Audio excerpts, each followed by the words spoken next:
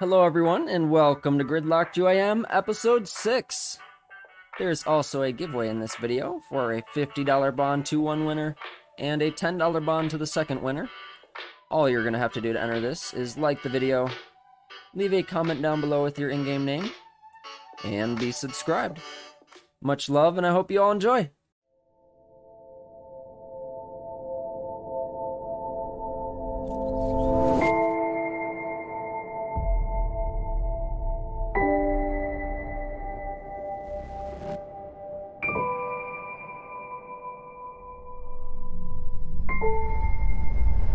Even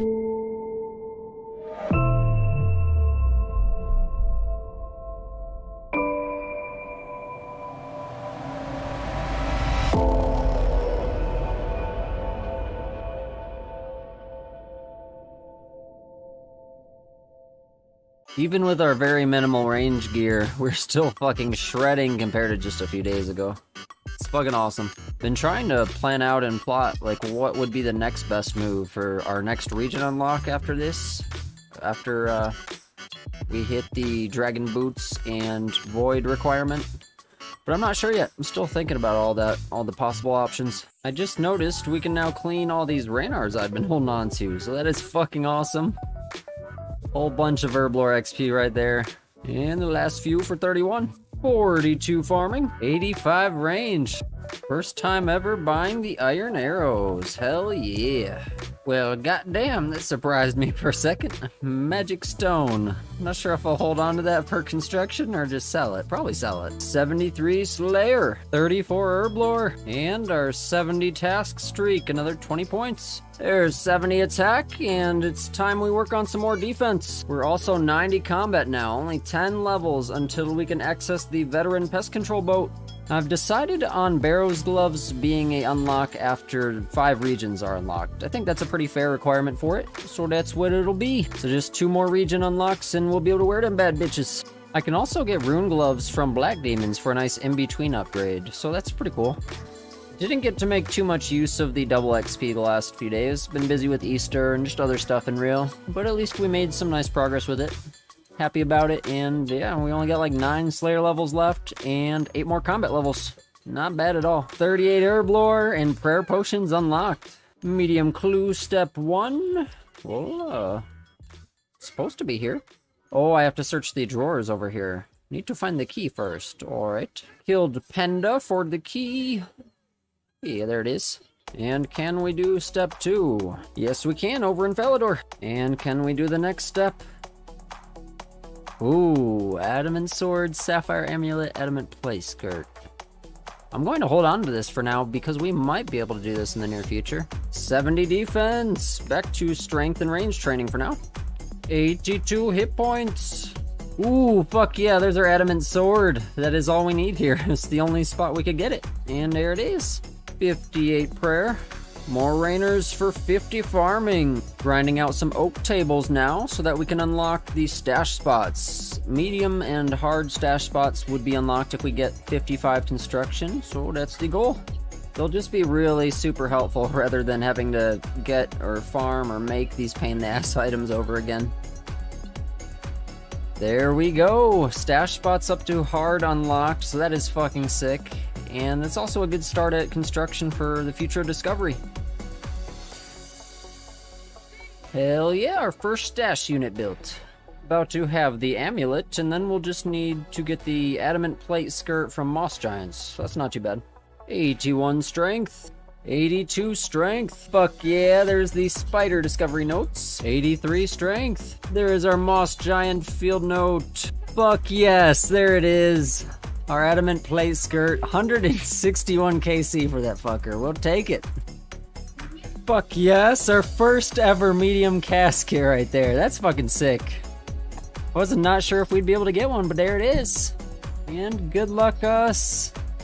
What will we see?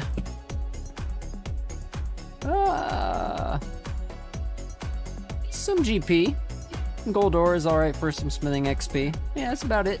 47 smithing from our 70 gold ore. 75 slayer. 86 range. 76 slayer. I've been loving these earth warrior tasks for the seeds and herbs. Fucking sick. And there is our 80 Slayer task streak. Pretty fucking nuts that we've done that many already, but yeah, here we are. God damn, just got 40 rune crafting from our daily task. That's fucking sick. We'll most definitely take that. Our cash stack is actually building right now with how lucky we've got. Vanika's just been real kind lately. 87 range, 90 streak, 78 slayer. We now have all of the basic relics, but I'm still gonna just camp the Coal the Week. It's, it's so fucking nice to use.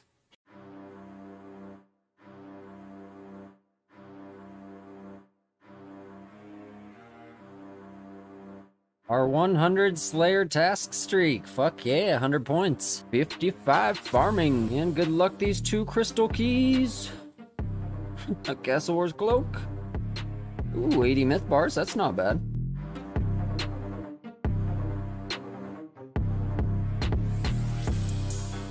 Got a few things on the block list now, just so that we can save a little bit more cash.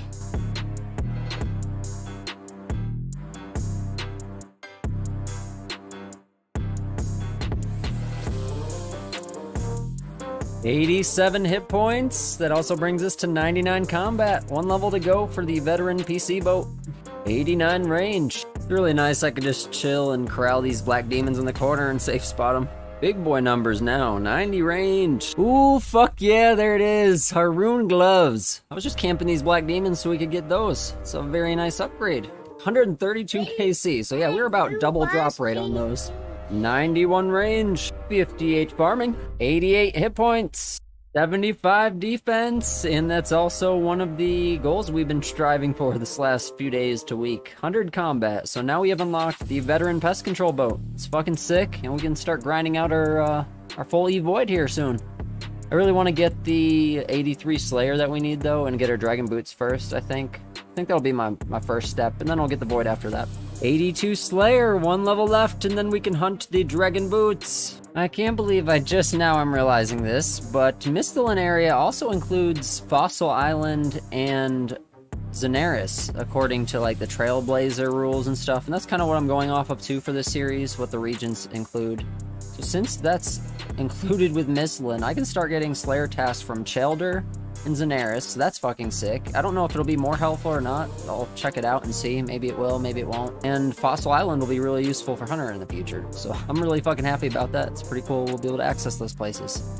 Still trying to think and uh, decide totally what I'm going to do for the next region and what's going to be the next best goals to go for and all that, but we got a little bit more time to decide. There's a lot of nice perks about unlocking Morytania, so I'm thinking about doing there next. I would be able to get the Slayer helmet, Barrows gear. Just a Slayer would be able to shoot up so much farther because I'd be able to do so many more Slayer tasks. There's a lot that are in the Morytania area. Been thinking about Kandarin as well because we could start agility and there's a lot of Slayer tasks in that area I think as well. Not as many though. Like there's way more in Morytania and Fremennik. Yes, just kind of pondering all the possibilities. First ever Chaeldar task. 50 black demons. We'll take it. Yes. What do you want to say? That one. That one? Yeah. This is Hello, hello. Saw a bow. Shooting a bow. You a guy? You is a guy? Finally, the end of this black demon task. 860k. Oh, and that's our 130 streak for 50 points. That is sick. Grabbing a Saradomin cape for whenever we get our dragon boots. 92 range. Here it finally is, the moment I've been waiting for. 83 Slayer. So now we have the ability to get the Dragon Boots and Evoid, and we can knock out this region. We can unlock our next region soon, so that's really fucking sick. Really happy we got that done today. Dragon Boots shouldn't be too bad to get at all. They're only 1 out of 128, and Evoid will only take like 2 hours or so with the mass. That's super fucking awesome. So happy about it. We're just about ready to unlock our next region. I just gotta think about it and decide where is gonna be the next best place to go, because I'm still pretty undecided at the moment. The Coal of the Week relic has helped so much with this grind overall. I'm so happy we got it real early on. Thank you all for watching Gridlocked UIM Episode 6. And now for our giveaway winners. Good luck to you all. And our $50 rank bond winner is. Dion Vandermeer, in-game name Fuels. Progress is nuts in this video. Hell yeah, man, I really appreciate that. And congrats on your $50 rank bond. And our $20 rank bond winner is. Jars RSPS, in-game name Jars. Congrats, you have won a $20 rank bond. And much love to you all. I hope you all enjoyed this vid, and I'll catch you in the next one.